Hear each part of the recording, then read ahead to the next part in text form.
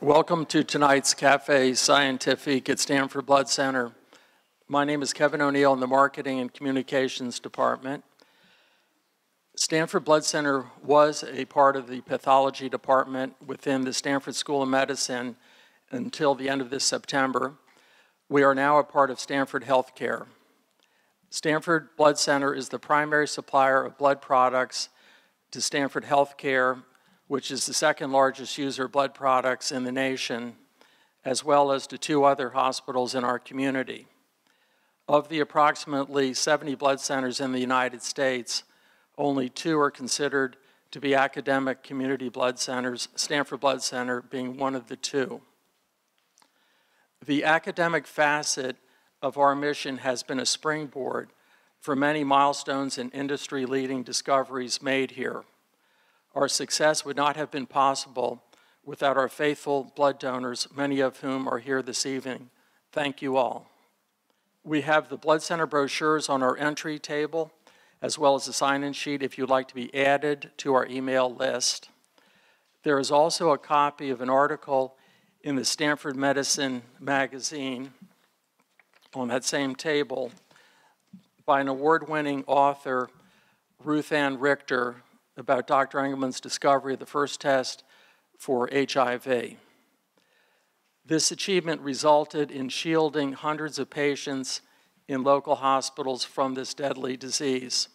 This article details the hard-to-believe response to this discovery on the part of the American blood banking industry. I see it as Stanford Blood Center's very own profile and courage. Now I would like to introduce our CEO, Harpreet Sandhu, who will introduce Dr. Engleman.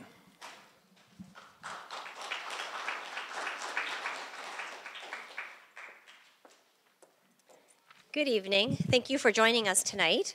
Um, it'll be an extremely exciting presentation. Uh, and with that, I'd actually like to introduce Dr. Engleman. Dr. Engleman is professor of pathology and medicine at Stanford University School of Medicine. He joined the faculty in 1978 after completing training in internal medicine at UCSF, biochemistry at the NIH, uh, immune, uh, immunology, rheumatology, and transfusion medicine here at Stanford. In 1979, Dr. Engleman established the Stanford Blood Center uh, for which he has provided medical and strategic direction since its inception almost 40 years ago. Dr. Engleman is also the co-director of the Immunology and Immunotherapy Program at Stanford Cancer Institute. He has supervised more than 150 research trainees, authored 300 scientific articles, and has been an editor of multiple scientific journals. For the past 25 years, Dr. Engleman's group has been studying rare but powerful white blood cells called dendritic cells. After developing methods for isolating and arming human dendritic cells, he conceived the idea of using them to vaccinate patients against their own tumors. 20 years ago, he and his collaborators at Stanford Blood Center and Stanford Hospital began testing this idea in patients with cancer. His technology provided the basis for the Provenge prostate uh, cancer vaccine, the first active immunotherapy for cancer to be approved in, uh, by the FDA in, 20, in 2010. This vaccine opened the way to a new era in which immunotherapies are increasingly becoming a standard component of, uh, of cancer treatment. In fact, Dr. Engleman's laboratory recently discovered an extremely potent approach to arming and activating dendritic cells in tumor bearing hosts that doesn't require removal or manipulation of these cells. This new approach has been shown to eradicate a variety of cancers in experimental animals and is expected to enter clinical trials very soon. And without much further ado, I'd like to welcome Dr. Engelman.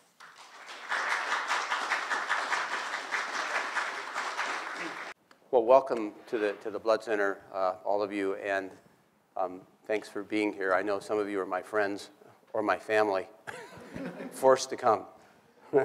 Others I know were in attendance a few days ago at, uh, when we had a special breakfast for our blood donors who have donated at least 100 gallons is that right? Oh, 100 times. Okay. 100 times. Uh, and I know we have at least one here who's donated 600 times. 700. Is it 700? 700. Yeah.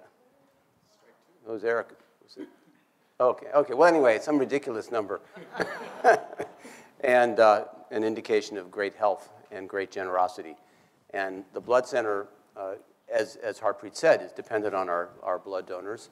And, um, and I've been dependent on our blood donors ever since we started this. Uh, we haven't always been located here. Some of you who know us well know that we, well, you probably don't know this, but the original site of our blood bank was actually on this, on this street back in the 1970s. And then we moved over to Welch Road, where we were for about 25 years. And then over the past 10 years, we've been here. We moved here because of, um, we just couldn't accommodate the size of our program in the building on Welch Road. And of course, we got out of town just before they started tearing up the entire neighborhood there. So we're happy to be in this location. Um, when, you, when some of you are blood donors, and as, as you know, when you donate the blood, most of it goes to patients and saves their, saves their lives. But there is a component of the blood that we remove. And we remove it because it, it, it's uh, better for the patients who receive the blood. That component uh, is the white blood cells. So your blood consists of red, red blood cells, which of course are responsible for making the blood red. and those cells carry the oxygen to the tissues. There are platelets, which are small uh, fragments of cells that are necessary for preventing bleeding and stopping bleeding. There's a variety of proteins in the clear fluid, the yellow fluid, or plasma as we call it, that is also uh, very important. But the, but the white blood cells are, are, uh, are very powerful and very important for your health, but they're designed essentially to attack. And so if we include the white blood cells with the blood transfusion that goes into our patients at Stanford and elsewhere, there is the risk that those cells could attack and harm the recipient of the transfusion. So since we, from the time we first started the blood center, which is almost 40 years ago, we have routinely removed the white blood cells uh, for, that for that reason. Now, we didn't throw them out. And that, that's the good news. And the good news for me and, and some of my colleagues in my research lab that are here tonight is that we make them available for research. Uh, research from our lab, research from other labs, uh, mainly at Stanford, but all over the country actually. And, and so I started studying white blood cells uh, about 40 years ago uh, from this source. And when I started, uh, at that time, our understanding of the immune system and of the human immune system in particular was, was incredibly uh, primitive. We knew that there were white blood cells. We knew that there were cells that we could call lymphocytes and perhaps uh, granulocytes, but we had no idea how complicated our immune cells actually are. And it turns out that there are many types of white blood cells, not just one or two or three, but many each of which has a highly specialized function, each of which is capable of producing many distinct molecules, uh, and, and then they interact with one another.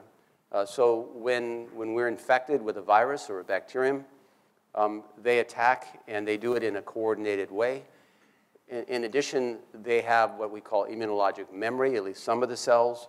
So once you've been exposed or infected with a particular virus, there is immunologic memory. So the next time you're exposed to that virus, uh, the response is much faster and much more potent.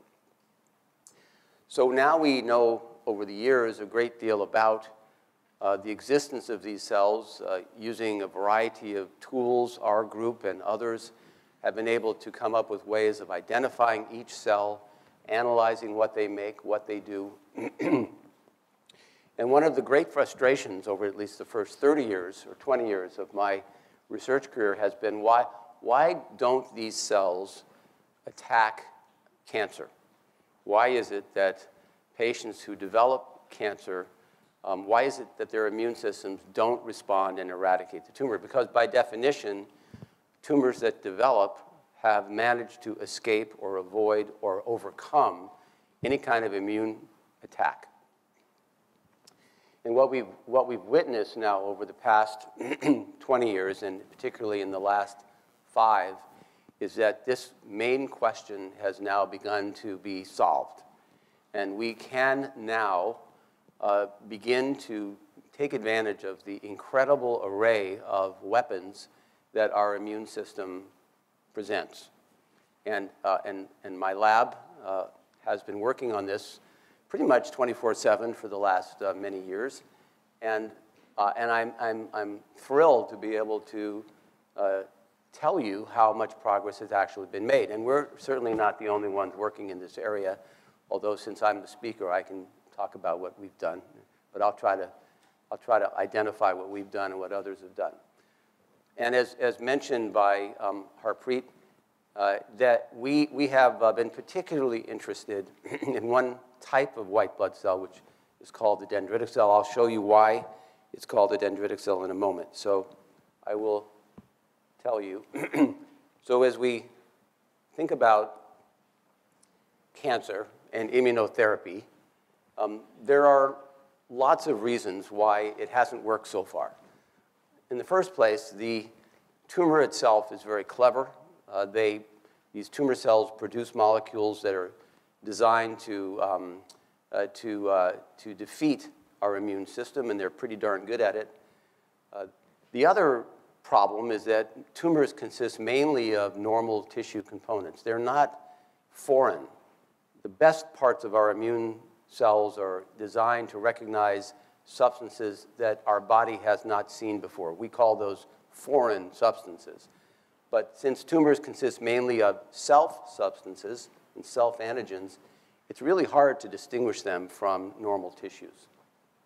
And in fact, we have a whole system in place to eliminate or neutralize our cells that are capable of recognizing and reacting against self tissues. If we, if we didn't have those checks and brakes in, in place, we would all be suffering from autoimmune disease.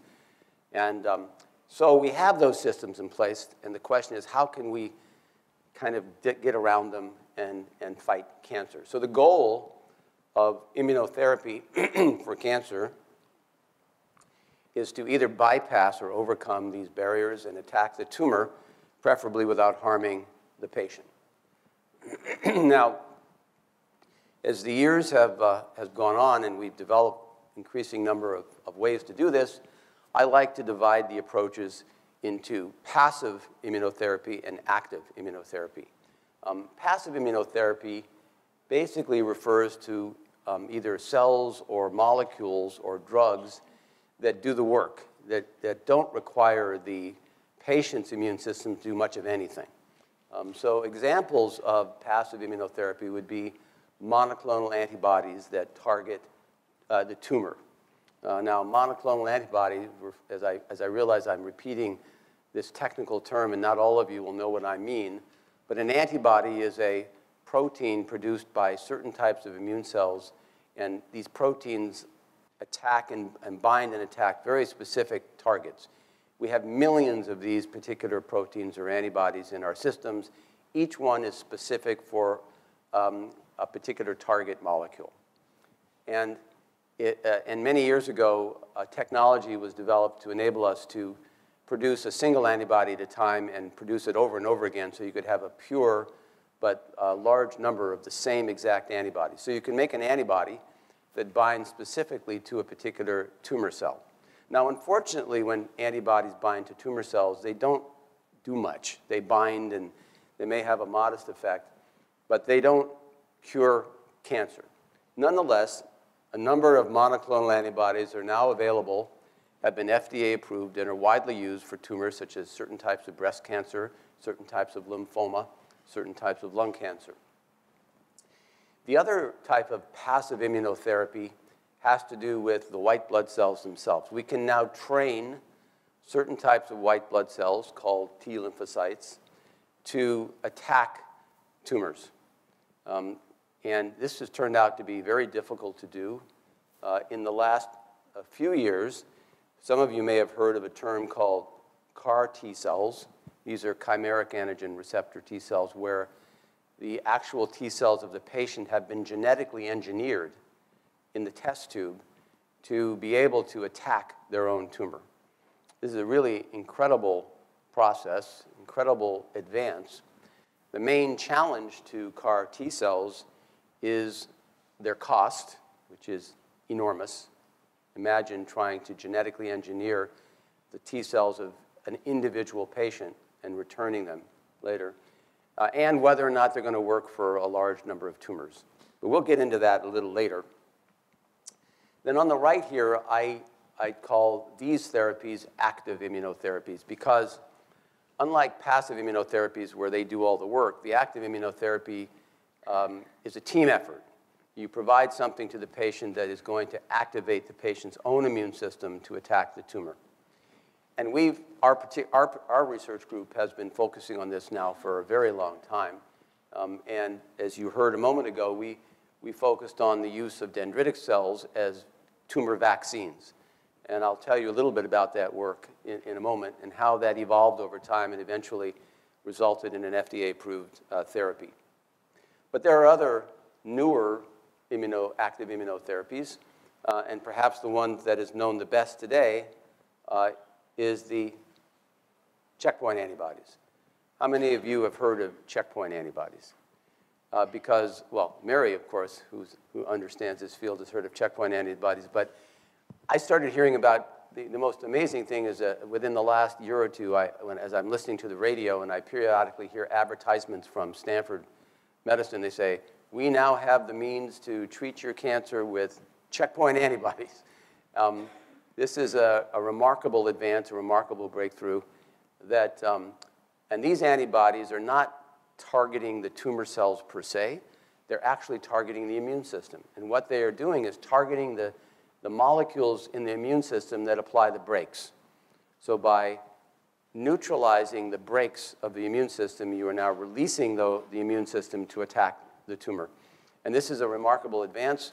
We now have uh, two of these antibodies that have been uh, approved by the FDA, and they're being used to treat a relatively wide range of cancers. Um, they're still not curing cancer, but they're, they've had some pretty powerful effects. Quite exciting. Okay, well, let's go back then and, and uh, review the basic concept and how did we end up discovering and developing uh, the first cancer treatment vaccine. Well, when we started, we were faced with the, what I call the old view. The old view was that the inability of the immune system to attack cancer was inherent and irreversible. Um, and it was due mainly to the idea that the immune cells that could recognize self were eliminated during development. And, and that idea was not only widely accepted, we taught it in our courses for, the, for 50 years. The new view is that the old view is wrong, essentially. um, and that, um, that in fact, the idea that, uh, that uh, immune cells capable of recognizing self are completely eliminated is simply an exaggeration. It's just not true.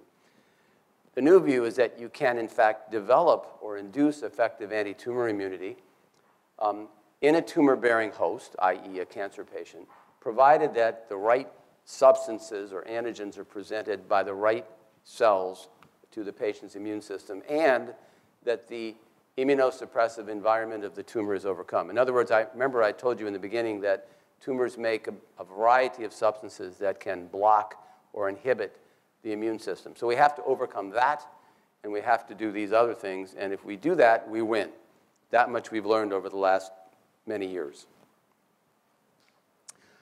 So why dendritic cells? Well, dendritic cells, or DC as we call them, are these incredibly powerful antigen processing and presenting cells. They're all over your body, although they're not terribly frequent, but your skin is actually uh, embedded with them. Um, and these cells get their name because of their long dendrites. Uh, you can see them here.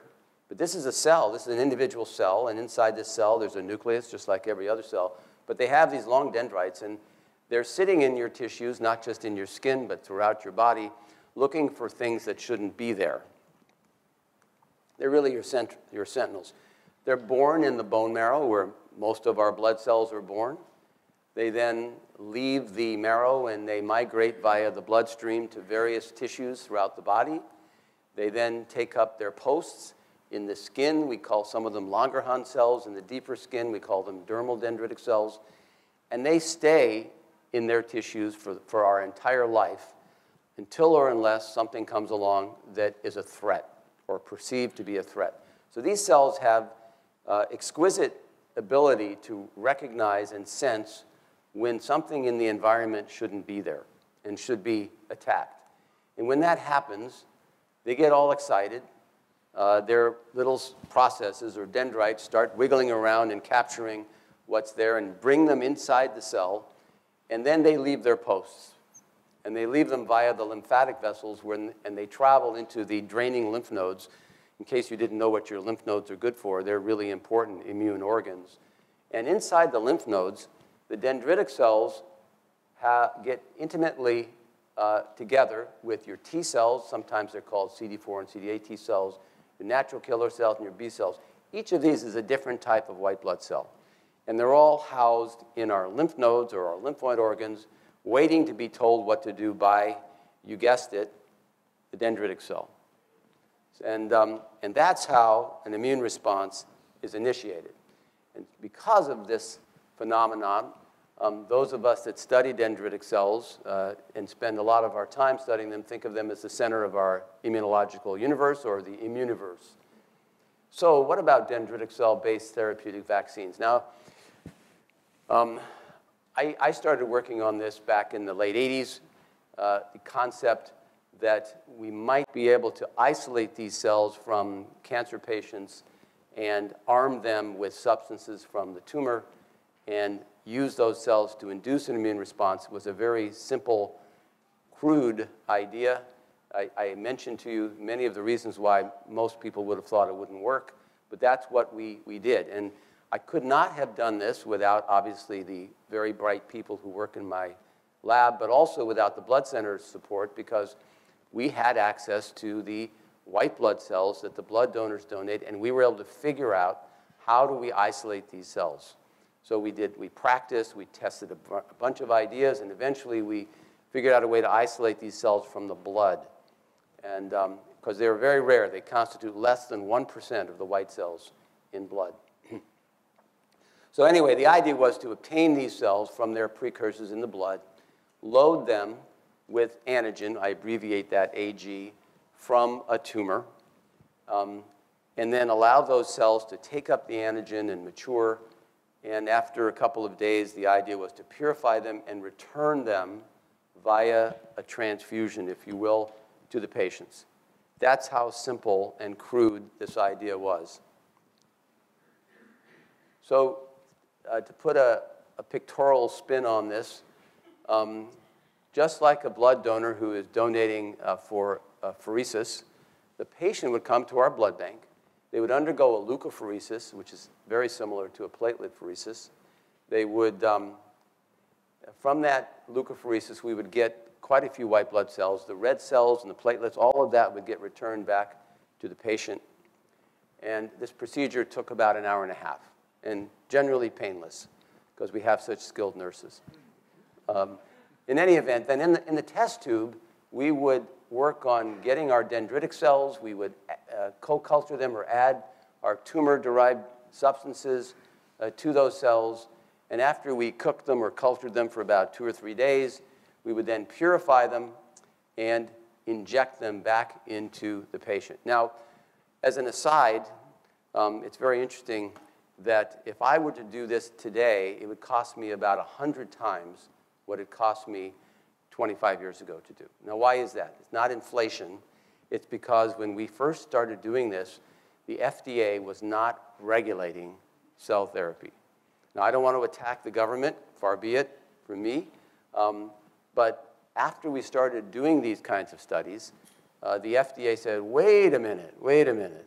Um, this is something we should regulate, right? And so, um, and so we, we, they came to me uh, after we started, we were doing uh, a number of clinical trials and clinical experiments here at Stanford.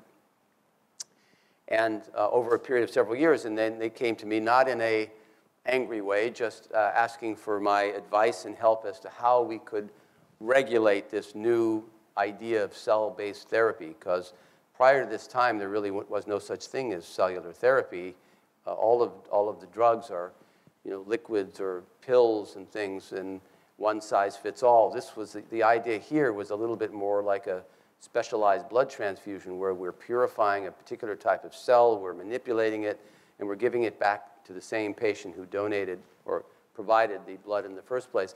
Well, anyway, um, the FDA decided it wanted to regulate this, and as a result of their regulations, which took them 10 or 15 years to develop, it's now much more expensive, unfortunately, uh, to do this experiment. So in those days, back in the 1990s, when we did these experiments for the first time, I estimate that it cost us about $500, maybe $1,000 tops per patient to do this.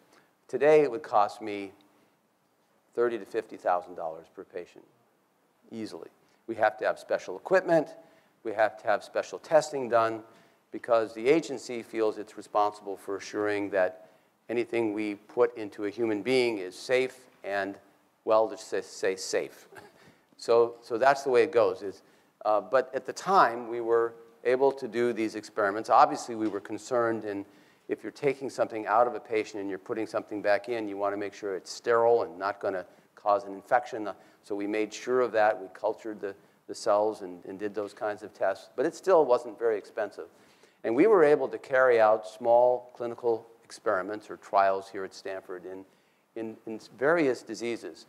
Uh, non-Hodgkin's lymphoma, multiple myeloma, prostate cancer, HIV infection, and finally colorectal cancer. And in every case, in every one of these studies was done in patients who had advanced disease, metastatic disease, whose options uh, were limited, basically zero. So when we started this, the first uh, patient we injected was in about 1993, as I recall, and that was in patients with uh, lymphoma. This is not a patient with lymphoma. After we completed the lymphoma study, which was very encouraging, we did a study in colorectal cancer um, with metastases, and this is a patient who had colorectal cancer uh, with metastases into the liver and into the lungs. And you can see the metastases. Oops, sorry about that. Uh-oh, there we go. Um, this is a, actually a pleural effusion, but uh, the metastases are here, and then after treatment with uh, three injections of this vaccine, the tumor disappeared The patient was not cured. The tumor came back about a year later. But the important thing is that we were able to induce a powerful immune response against the patient's own tumor. Very well tolerated, no, no serious side effects. And so after we did some of these experiments, um, I did what every, every good uh, faculty member and student at Stanford is supposed to do. Um, I should tell you, Stanford owns my, our inventions. Uh, and, um, and the goal of the University Office of Technology Licensing is to disseminate these inventions and make them available to industry so that they can be developed uh, as real drugs. now, the idea of taking a cell therapy, the first cell therapy, and trying to develop it with the FDA's approval all the way through clinical trials um, is a very complicated and costly thing. And there was no way that we could ever do that here at Stanford so I filed invention, an invention disclosure with the, with the Stanford Office of Technology Licensing. And then I looked initially to see if there would be uh, an existing pharmaceutical company that would be interested in taking this on, and there were none because the conventional pharmaceuticals, as I mentioned a few moments ago, are one size fits all. You put a drug in a bottle and you inject it or you take it by a pill. The idea of trying to do cell-based therapy, very difficult, understandable. But I was fortunate enough to be able to convince local venture, uh, not local, venture capitalists um, to fund this effort, and the company was begun called Dendreon, very famous or infamous company, depending on your point of view. And the company licensed our technology from Stanford, and then, um, and then basically worked with members of my lab and some of the former members of my lab who decided to go work for the company to transfer the technology and then they went about trying to decide what cancer should they initially develop a, a vaccine for, and they decided on uh, prostate cancer, and I'll tell you why in a moment. And then the company went ahead to develop a reliable, reproducible manufacturing process and design clinical trials, filed an official application to test the product with the FDA, and then proceeded to perform controlled clinical trials to assess the safety and efficacy of this approach. Um, I say that in about 47 seconds, and it, and it, took 15 years and cost hundreds of millions of dollars. So uh, hats off to the, to the company for, for doing that. Now, I was I was the scientific founder of the company, so I should tell you right now, I'm, I was completely conflicted in all of this, right? But I'm telling you historically what actually happened.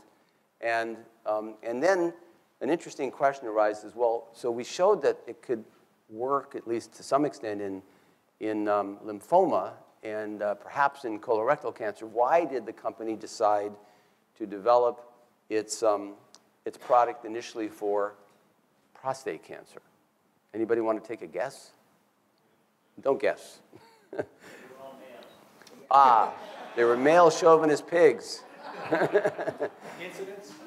Well, certainly a company would be interested in the size of the market. And so prostate cancer is one of the most common tumors, but it's not the most common tumor. There are about 10 really common tumors. No, the reason why prostate cancer was chosen was not because they were male chauvinist pigs, as far as I can tell, but it had to do with fear. They were very nervous about the possibility that what we would do with our vaccine would be to induce some sort of life-threatening autoimmune disease. So if you want to make a vaccine against lung cancer and you're using materials from lung, are you going to induce some horrible lung disease, for example? Um, so the idea was to try to find a type of cancer that affected an organ that wasn't very important. and that turns out to be the prostate. We have them, but we really don't need them. so, so the, the, the company scientists uh, working in collaboration with us uh, demonstrated that if you made a vaccine out of uh, prostate uh, substances and um, coupled that with dendritic cells and injected that into, into animals, experimental animals, they caused a rip-roaring prostatitis, an autoimmune disease, exactly, against the prostate. So that was good. That was good. That provided the rationale, the scientific rationale to go from experimental animal studies straight into human clinical trials. However, that was a fateful decision because turns out that in, for the most part, prostate cancer is pretty slow. Um, not always, but mostly. And it cost so much money and took so much time for the company to develop their vaccine for prostate cancer, they never were able to develop other vaccines for other tumors. Even though they had them all lined up and ready to go, they couldn't do it because it cost too much. So they did one. And, um, and this is an example of the data that were generated in the company's extensive clinical trials. And what you see here, this is, a, um, this is called a Kaplan-Meier curve. So what we have is the percentage of individuals who are alive along the y-axis here, and then the amount of time uh, they were studied for. So you can see right off the bat that these trials take a long time. First, you have to enroll the patients, then you have to treat them. And the company treated two groups. They had a group of people, of patients who did not get the active vaccine, but they got a, a control, which is, I know, a tough concept, the idea that you enter a clinical trial and you don't even know whether you're going to get the active one or the inactive one. But unfortunately, we, the only way to know if something works is to compare it with something that looks almost the same but doesn't work. Doesn't hurt the patient, but probably doesn't help the patient either. And what you see here is that over time, uh, a higher percentage of the patients who received the active vaccine survived.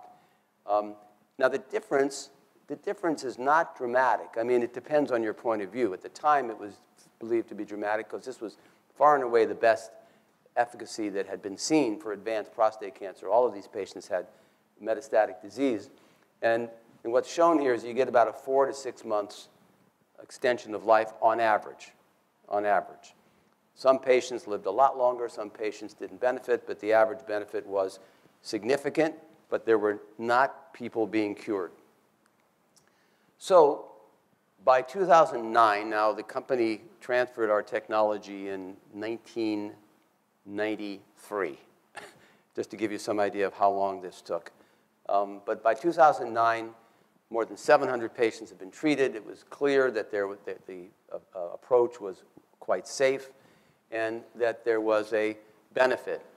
Uh, and on the basis of that, uh, the FDA approved this vaccine, which was originally called Sipuleucel T, ultimately called Provenge.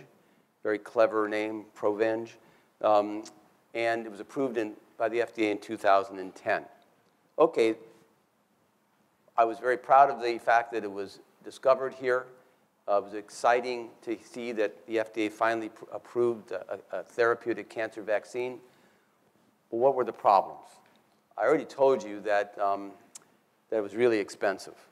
Uh, it shouldn't have been, but it, but it was. In fact, the company never made a profit in its entire existence, despite the fact that they generated, I think, close to $400 million in sales in one year.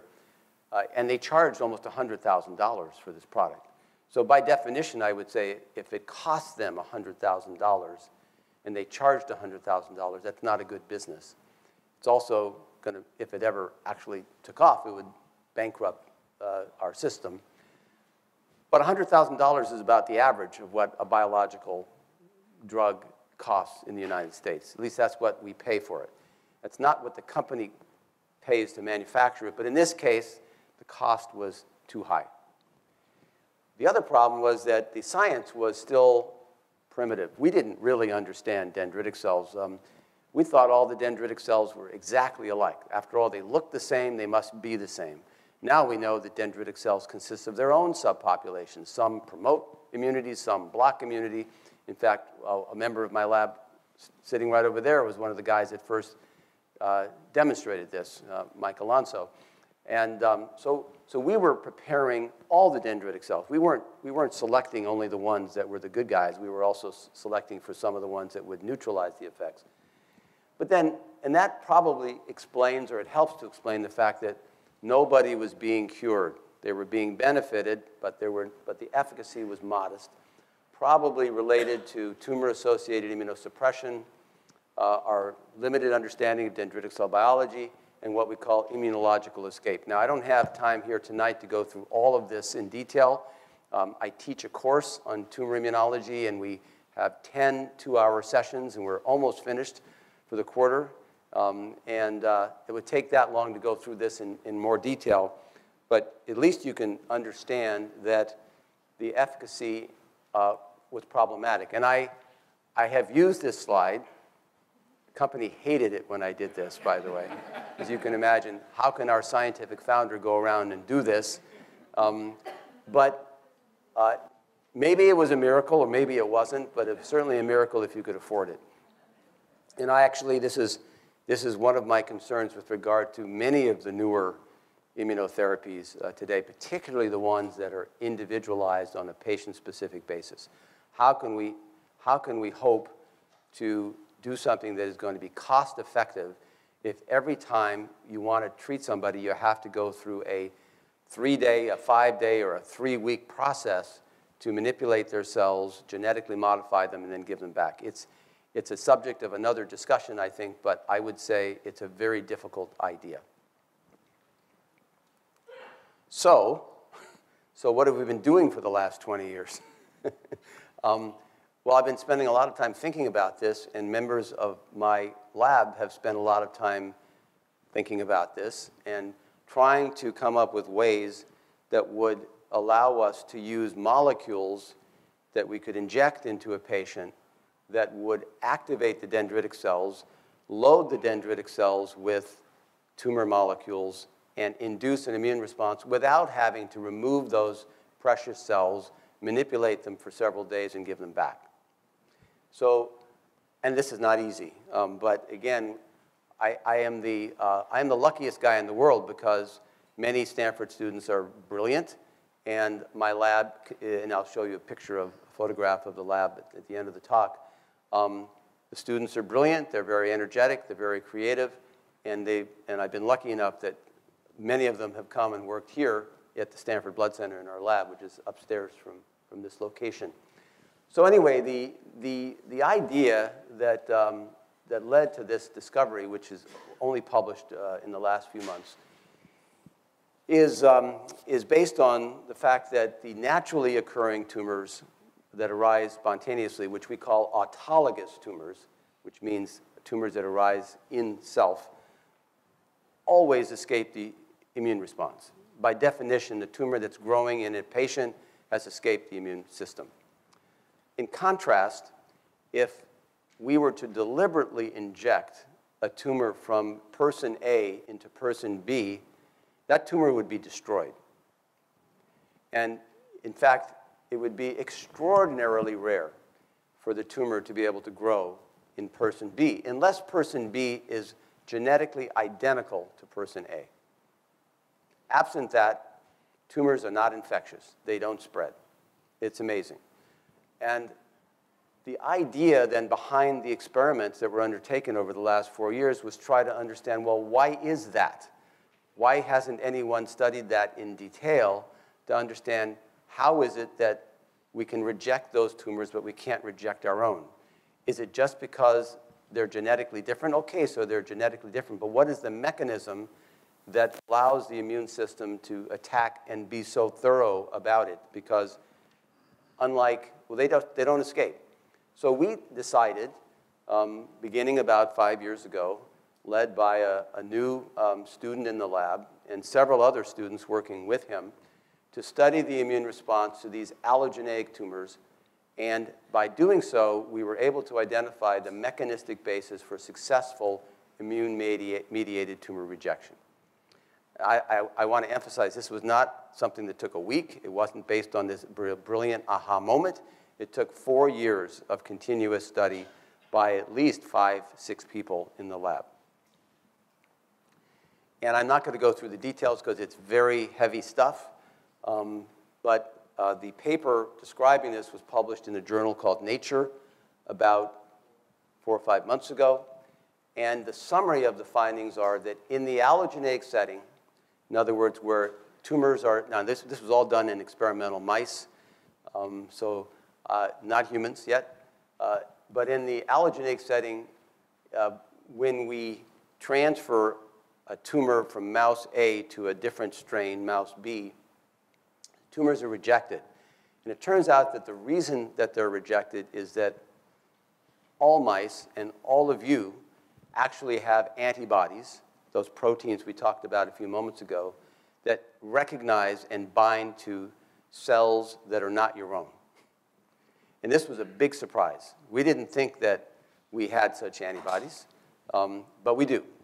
Now, why Mother Nature decided to give us these antibodies, I don't know, but we have them. And those antibodies bind to the tumor. They don't kill the tumor, but they sound an alarm, if you will. They bind to the tumor and they bridge the tumor, literally, physically bridge the tumor to nearby dendritic cells. And the dendritic cells can then uh, engulf the tumor, acquire the tumor antigens, and ultimately do what dendritic cells do, which is to activate an immune response. And it turned out that this relatively simple mechanism had not been discovered previously. And then the next question was well, okay, fine, it's great to know why someone else's tumor is rejected by you, but who cares since it never happens? Is it just tumor or any tissue? Any tissue.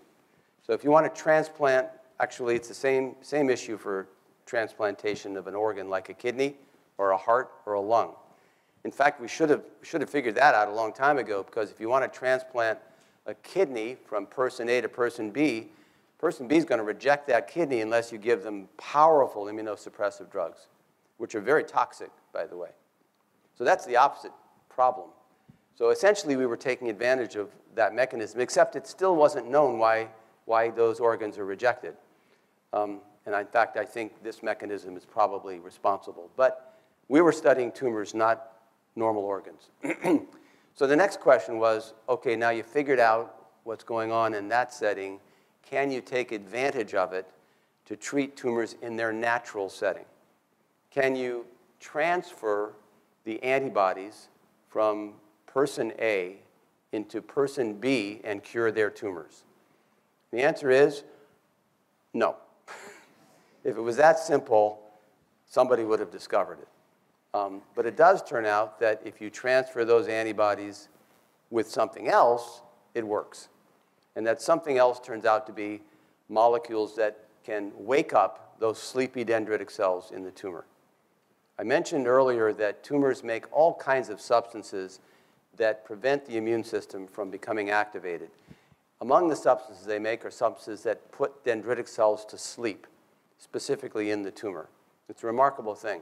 But the dendritic cells are still alive. So if you can overcome that sleepiness and you can deliver the tumor cells to the dendritic cells, you can, you can create a very powerful immunotherapy.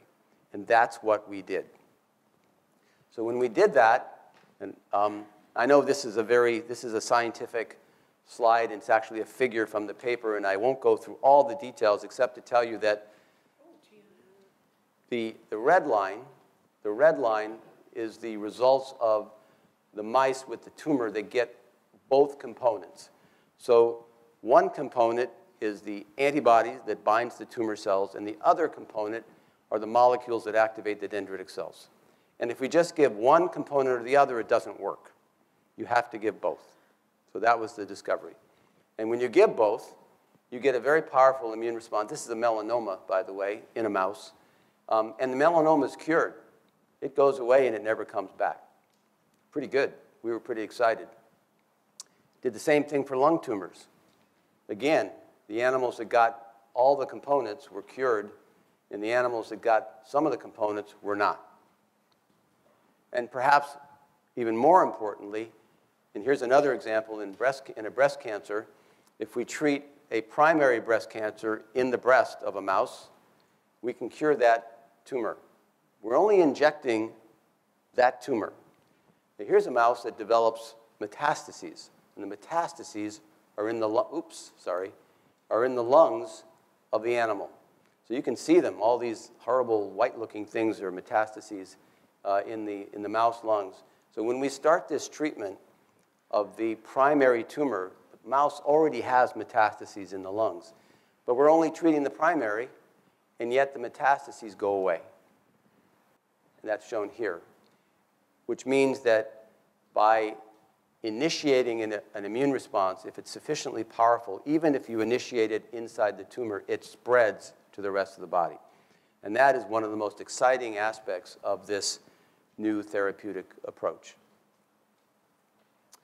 And I'll just tell you without going through these questions that there are a whole series of questions that remain to be answered. We have developed some new and very, um, very uh, sensitive tools to understand exactly what's going on in the bodies of these animals in which the, their tumors are being cured. Because we want to understand every uh, element. Uh, and so I, am not going to go through this either, but I have to tell you that we published a paper in another good journal called Science about two months after we published the paper in Nature. And the, uh, in the paper in Science describes the kinds of tools that we can now use to analyze the immune system uh, in the whole body. Well, okay, so how good is this new approach? I honestly don't know because curing cancer in a mouse amounts to curing cancer in a mouse. um, and, uh, and so we don't know if it will translate uh, easily into treatment, effective treatment for humans. But it's helpful to compare uh, this approach with the other, with, with the current most popular new approach, the immunotherapy for cancer, which are the checkpoint antibodies. I mentioned to you that these antibodies are designed to, um, to uh, neutralize the brakes on the immune response. So it's, it's a negative on a negative. And so by taking away the braking system, it's releasing the immune system to try to attack. Now, there's a problem with that because you can potentially release the immune system to create autoimmune disease or attack normal tissues. But, but it appears that still the benefit greatly outweigh the benefit of, of these checkpoint antibodies greatly outweighs their current toxicity. So if we compare checkpoint antibodies, which are currently FDA approved and available for certain tumors, with this approach, which I call allo-IgG plus DC stim. I know we have to come up with a better name than that. um, both approaches are, in theory, applicable to a wide range of tumors. In both cases, you have one size fits all, uh, applicable to a wide range of tumors. The mechanisms, however, are somewhat different. Uh, the way our approach works is by stimulating dendritic cells and letting those dendritic cells stimulate uh, a tumor response, whereas the checkpoints remove the molecular brakes on the immune response. in mouse models of melanoma, breast, colon, pancreas, and lung cancer, the potency of our approach exceeds that seen with checkpoint antibodies. Substantially exceeds it. checkpoint antibodies really have little or no effect on most patients with breast cancer, or colon cancer, or pancreas cancer. Um, so that sounds pretty promising. However, and I emphasize this, checkpoint antibodies have been proven to be effective and generally safe in patients with selected cancers, while our approach have not even yet entered clinical trials. So despite the excitement that we've enjoyed um, with, uh, with the, and the promise that we have from this approach, we do not know yet if it's going to work in human beings, and if it does, whether it's going to be safe and well tolerated or dangerous. So with that in mind, I just want to make sure you're aware of those limitations.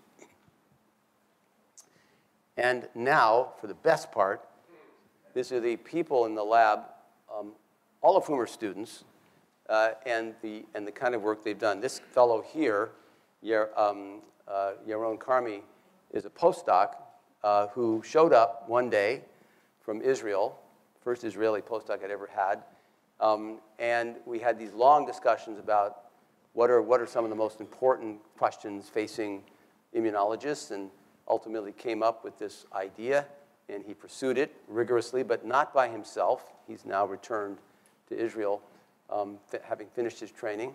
But he worked closely with this kid with the big smile, Matt Spitzer, Ian Linde, uh, these two guys. Um, who else was involved in this? I know Nate was helpful. and, uh, well, anyway, it was a team effort. And then Mike Alonso here, who's standing in the back of the room, um, is actually our senior supervisor in the lab. He finished his postdoctoral fellowship some time ago, but he's providing parental guidance to the other people in the lab. So despite the fact that I don't think Mike is even 30, are you 30 yet? You're just 30. Um, but I, I guess I want to emphasize to you that we have a very young group. If Mike's the oldest guy in the lab, well, no, I'm the oldest guy, but I, by several generations. Um, but, uh, but I, don't, I don't get near these things. They're, I'd be dangerous in the lab. But anyway, uh, so these, these kids are anywhere from 20 uh, to 30 years old. Amazing. And, um, and, the, and the amazing work they do. Unfortunately, they, they come, they finish their training, and they leave, which is very challenging for me personally. But notice also that they're standing here right next to the blood center sign. Um, so it reminds me to point out uh, to you that, uh, that the blood center was originally created to support uh, not only the production of the best possible blood products and services and the best possible blood testing, but also to support the uh, research and, and teaching in immunohematology and transfusion medicine. And I'm delighted that even though we are now owned by the hospital, um, that we're continuing to be able to work so closely together and, and, uh, and being able to continue with making what I think are going to be meaningful discoveries that will help patients going forward. So with that, I think I'll stop and, um, and welcome questions.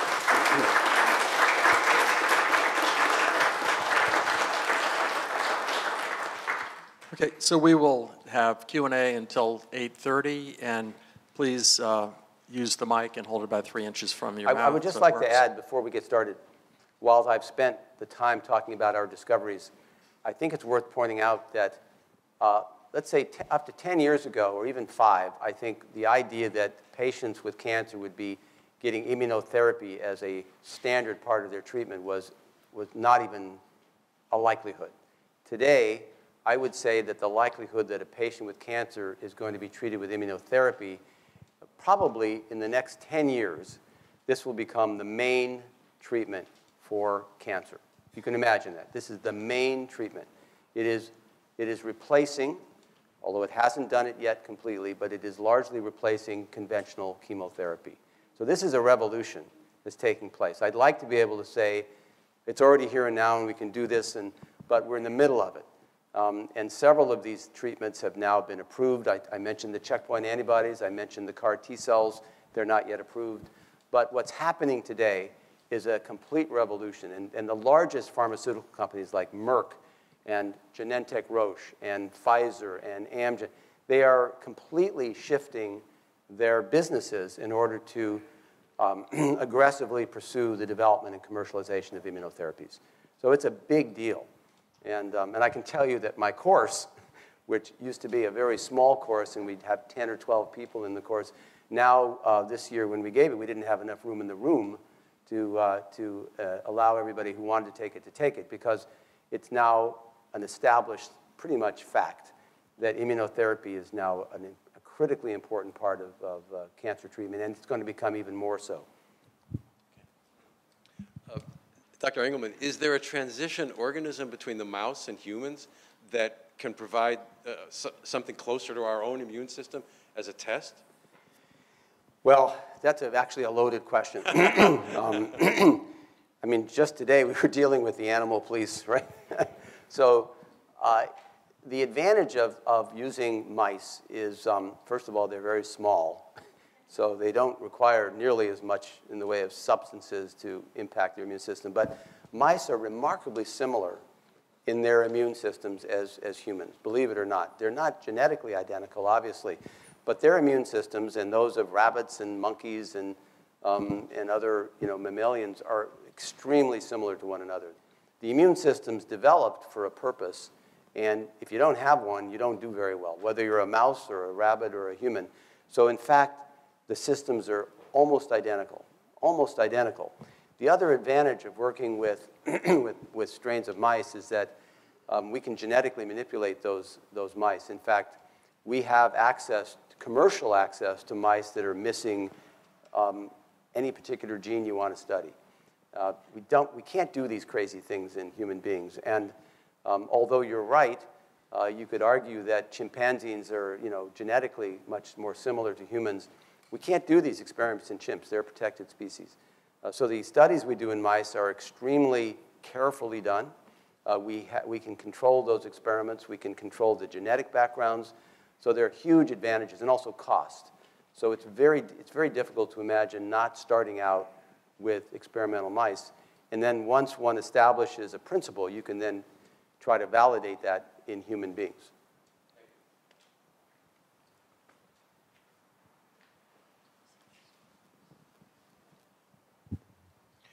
Does the FDA have a fast track capability for uh, cancer patients that are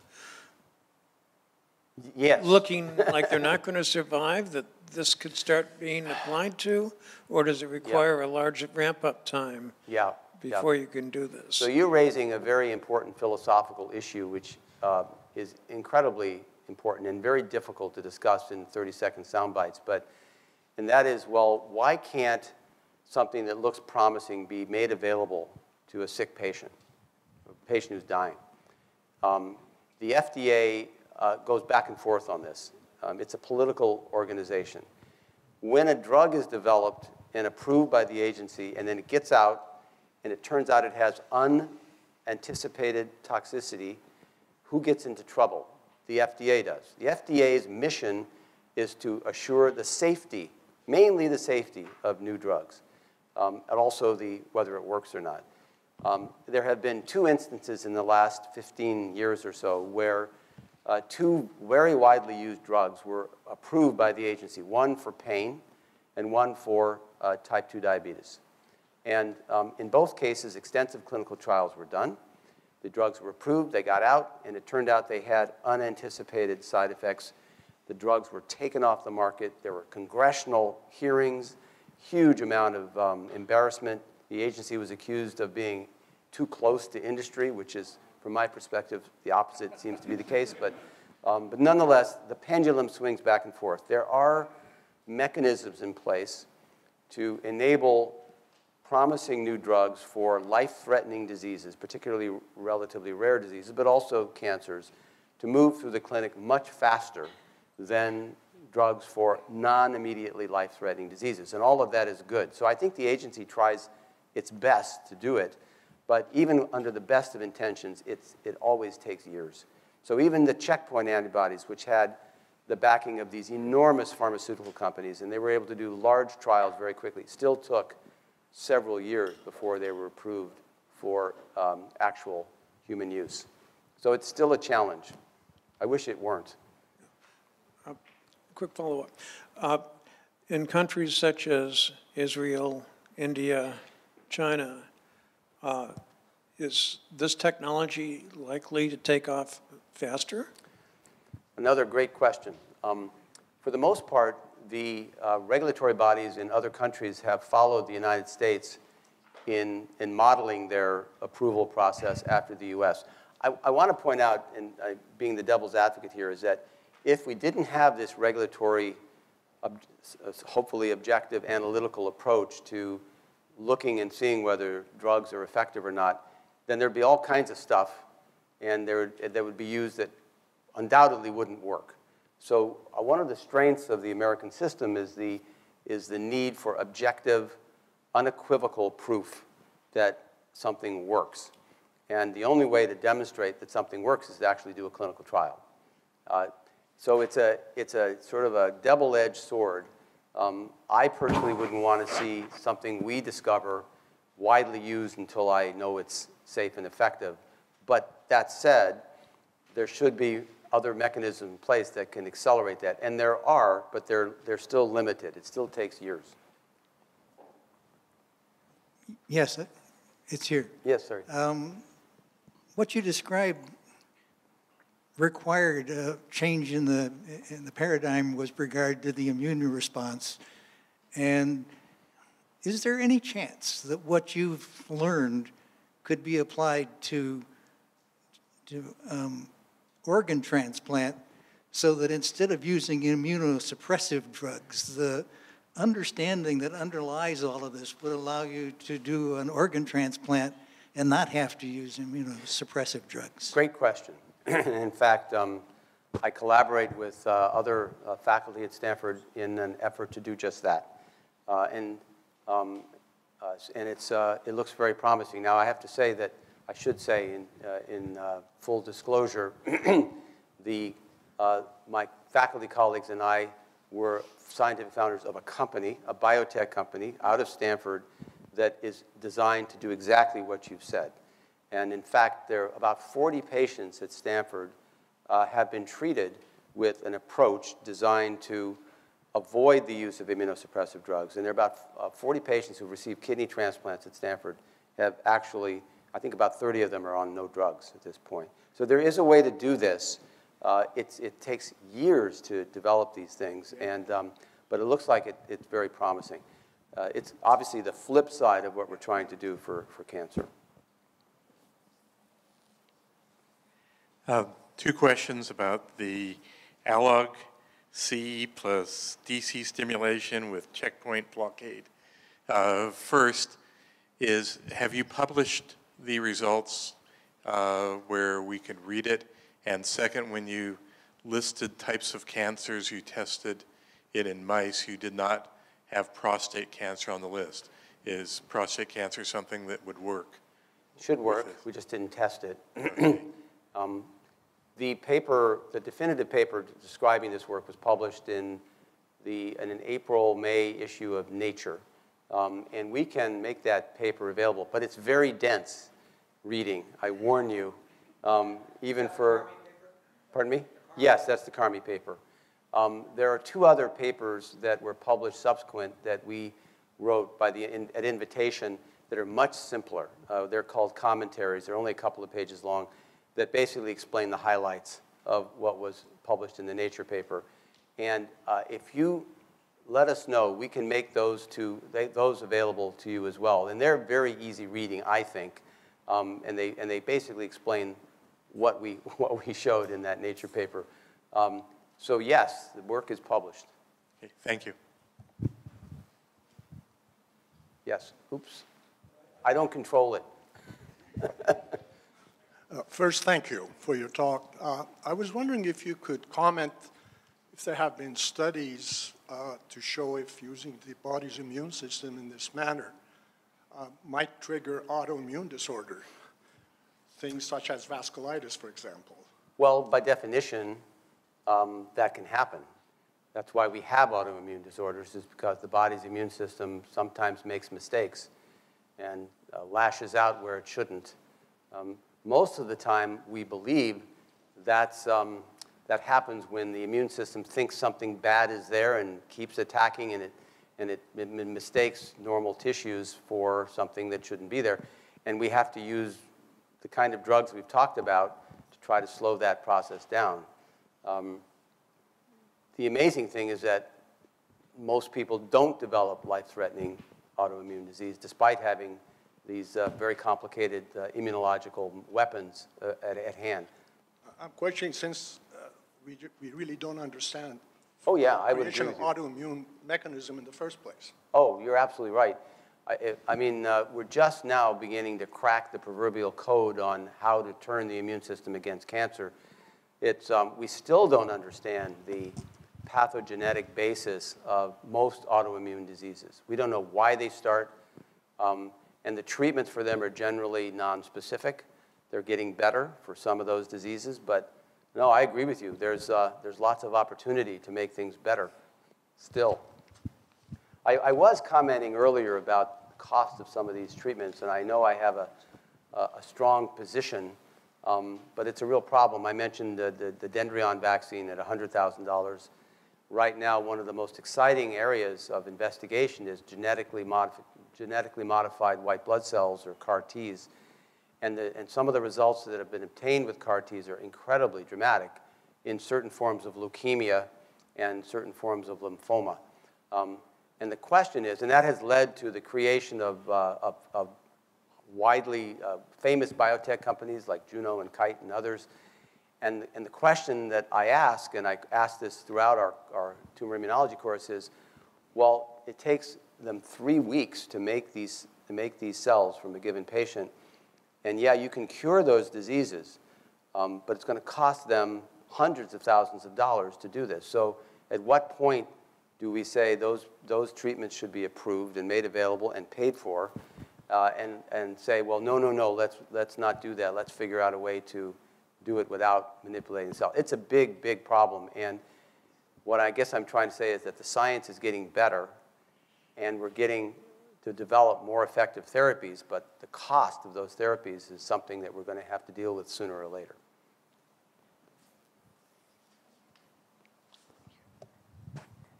I got the impression that some form of immunotherapy is accepted, and, and I was wondering whether that's widely used and whether there are specific hospitals where it's practiced or is that restricted, and, and yeah. what is the outlook for? Sure. So um, today, as I mentioned, most of the large pharmaceutical companies have, I shouldn't say most, um, there are two types of checkpoint antibodies that are now FDA approved and available for the treatment of certain cancers. They're, they're, they are at least partially effective for malignant melanoma, um, kidney cancer, some forms of lung cancer, and some forms of bladder cancer. Uh, they have not been shown to be effective for most other tumors. Are the treatments then considered immunotherapy? Yes. And that defines them, and then a person can inquire at a hospital whether they provide that, and if so, what form? Yeah, so I, I call immunotherapy any therapy that's designed to either, if you go back to the first slide, I don't know if I can do that. Oh, here we go. Um, passive or active. These are all immunotherapies. In the case of the passives, we're providing the, immune, we're providing the immune molecules or the immune cells to the patient. In the case of the active immunotherapy, we're providing things to activate the immune system. These are all immune therapies. Monoclonal antibodies for the treatment of cancer have been available for at least 15 years. I, I mentioned that they're generally well tolerated, but they're, they're not generally curing any patients. Um, and they're available for the treatment of breast, certain forms of breast cancer, certain forms of lung cancer, um, certain forms of lymphoma, and so forth. Uh, these are widely available, absolutely. Uh, these are FDA approved and commercially available. These are not yet approved. These are experimental. Um, very powerful, very expensive to make. Uh, over here, we, the only uh, active immunotherapy, um, well, the first one was, the, uh, was the prostate cancer vaccine that we discovered and subsequently developed at Dendreon. And then more recently, checkpoint antibodies have now been approved by the FDA, two of them, two different varieties. And I mentioned that the tumors that they can be, they're used for, and sometimes they're dramatically effective. I think the most dramatic um, uh, impact of the checkpoint antibodies is in melanoma, which is a type of skin cancer that often develops as a result of too much sun exposure. And uh, many times when the tumors are caught early, they can be removed surgically. You just cut them out and everything's fine. But if they then become, if they spread and metastasize, they're deadly. And up until a few years ago, we had no effective treatment for uh, malignant melanoma once it spread. And that's one of the tumors that's becoming more and more common. Uh, but now we, have, um, now we have checkpoint antibodies. And many patients with metastatic melanoma can live for years um, when they get these checkpoint antibodies. I can't say that it's 100%, but it's, it's, it's somewhere, you know, it's close to half. It's really amazing. So there have been these amazing advances from immunotherapy. Dr. E? Yes. Uh, the Veterans Administration is struggling to deal with Vietnam era veterans that were exposed to Agent Orange who magically are coming up with cancer from something that was perfectly harmless. Uh, would it be possible to work with the VA to accelerate the process of clinical trials with this cohort? Well, um, you're raising something that I would call political, not just medical, but political. And the VA system has its own system. It has its own funding system, um, its own medical system. I mean, it's really, I can tell you, and my colleagues in my research lab can tell you how hard it is to get financial support for this kind of research. Believe it or not, the amount of money that the, the NIH, which is the main government source of uh, research uh, support for biomedical research has been flat to down for the last seven or eight years. Um, and there's no appetite to see it increase. The VA system has its own uh, medical research, clinical trials support system, and uh, I, I, probably shouldn't touch that, but I would say that um, you know, activism is, is, is one way to try to procure dollars for that kind of research.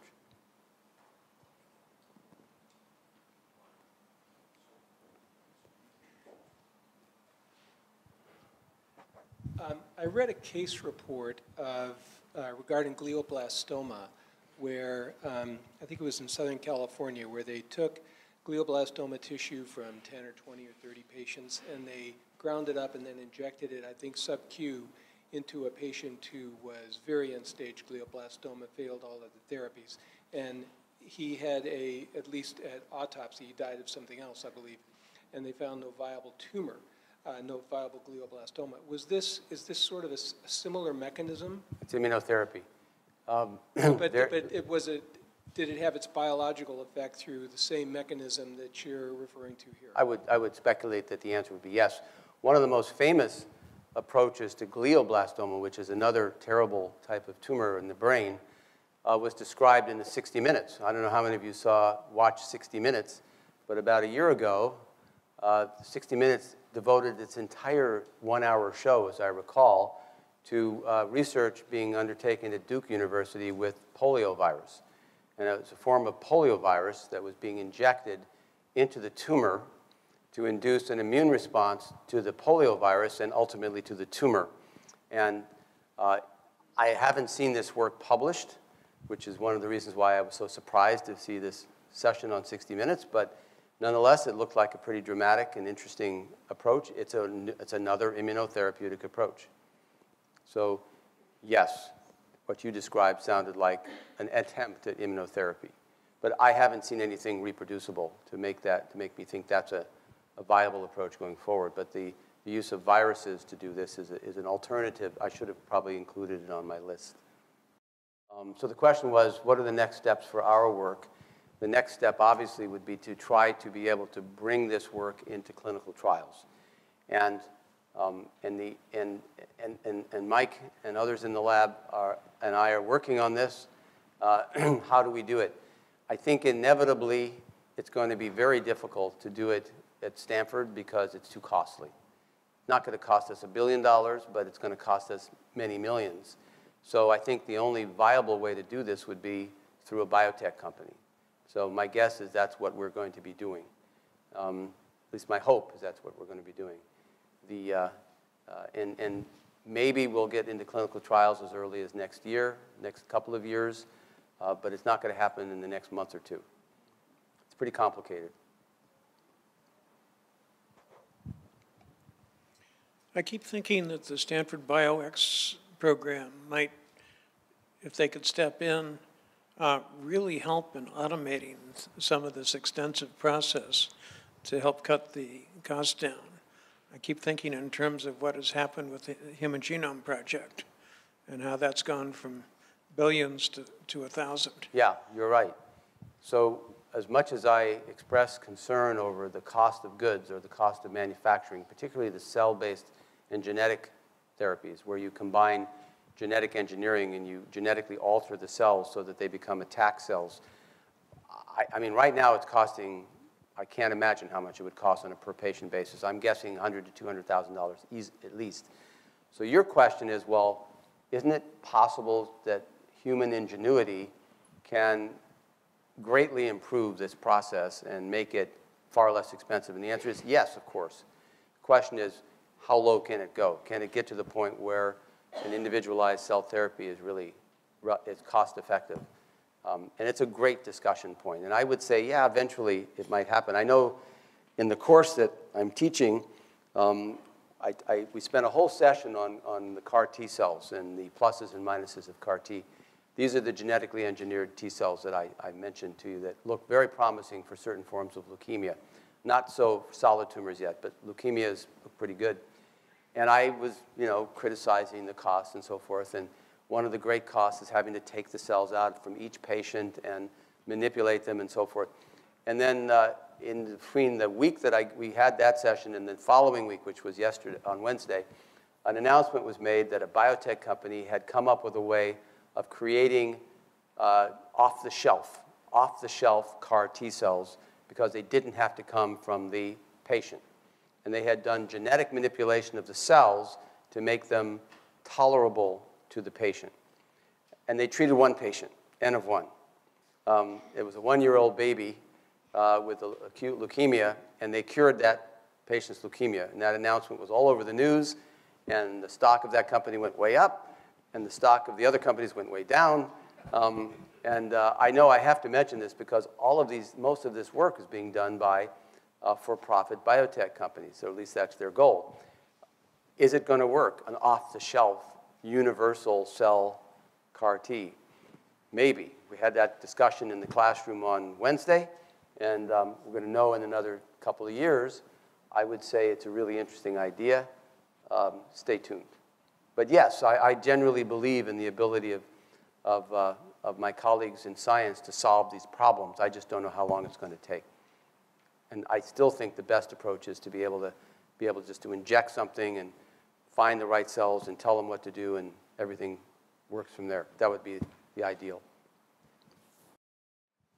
As you were um, instrumental in kind of helping the FDA regulate this treatment, um, do you think that there's a possibility that you may be able to um, negotiate some kind of a backdoor then for people if they sign a, a disclaimer uh, that they can get a treatment? No. I don't think so. I mean, no. I, lots of things, I, you know, there, somebody mentioned earlier the possibility of doing drug development in other countries where the path may be faster. Um, it's possible, but as I said, most of the, most of the developed world is now following uh, the, the, U.S. model in terms of balancing, um, you know, the need for new treatments with the need to be cautious. So no, I don't think there's a shortcut. At least I haven't figured it out. I have a question about funding, just for our information. We, it seems like we uh, have frequent solicitations to give donations to fund cancer research. And I just wonder, um, does any of that money flow to the kind of work that you do? Uh, and as an alternative to that, are we going to have to rely on venture capital funding in, for profit-making companies in order to get this developed? Yeah, you almost answered your own questions. Um, you know, the this gets again into a very dicey subject, which is how much regulation is appropriate, um, and why do we have so much? So, for in general, if you want to develop a drug for a non-immediately life-threatening condition, it costs a huge amount of money. If you want to develop a drug for obesity or even diabetes, it can cost a billion dollars. Or for Alzheimer's disease, it's a billion dollars. You Can't get around it. You have to do so much safety testing and so much long-term efficacy testing. It's extraordinarily expensive. That makes it very difficult for you know, academics to do anything in those fields. We can make the discoveries, to be sure, but trying to get the development process through, it's very difficult to imagine that being done with smaller amounts of money. Um, for very rare diseases, or you know, uh, there are exceptions made. Uh, the FDA still has to regulate it, and it's somewhat less costly, uh, but it still requires quite a bit of money. I, it would be very, very unusual to see a development process take place in a nonprofit um, because of the amount of money and expertise that would be required. I think what we're really good at here is the discovery. Um, and trying to take it from discovery here, I scratch my head. I say, what is the, what is the best? We, we talk about this almost every day. How can we move this faster? Um, we have to make some scientific and technical choices. We have to think about, you know, what's the most likely combination of our molecules that's going to work. Um, and then inevitably say, oh my God, it's going to cost us $10 million just to get this through the first clinical trial. How do we do that? So I think it's pretty tough. There are, however, um, as many of you know, there are some wonderful foundations as well as the NIH that support initial studies, um, uh, you know, both the discovery effort and some early trials depending on the cost of goods. Uh, so I, I wouldn't say it's impossible, but I would say that in the end, it's pretty tough to do it without investment and companies. Well, okay, we're just about at 8.30. I, I, unless anybody else has a burning question, I guess I'll stop. Oh, okay, one more. I was wondering whether you felt that the work you're doing here could eventually be applicable to a cure for the common cold. Oh. I was hoping you were going to say whether you thought the work was really worth it. um, I get up every day and I'm really excited about what I do. Uh, and I, there's nothing more exciting than coming to work here and working with these really bright students. I mean, it's a real privilege. Common cold is not one of the things we're currently working on, although they bother me when I get them um, terribly, uh, or the flu, which can be dangerous. So um, I, I, do believe in the future of, of science. I do believe that, that science can solve almost any disease. I, I think that within 20 or 30 years, it would not surprise me if cancer was largely controlled, just the same way hepatitis C is and HIV is controlled. I mean, I was there when HIV was discovered, and everybody who was infected with it died.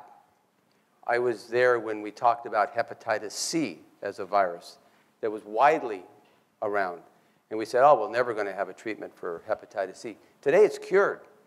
It's cured. If you have hepatitis C infection, chances are about 99% that if you take certain medicines for a few months, you will be cured. Um, now, there's controversy about what the drug company is charging for that treatment, um, but I would say that's pretty amazing. And uh, so I am really optimistic. I wish that I could live another 100 years. Then we could, you know, then we won't be dying of cancer. We'll be probably dying of other things, but not cancer. So um, no, I'm, I, I think that even the common cold can, can be conquered. I, I think there's more emphasis right now on, on lethal diseases, as I guess I think it's appropriate. But uh, I'm, I'm really optimistic. I've never been more optimistic, even about the common cold. Okay. Well, thanks. thank you all for coming, and thank you, Dr. Engleman.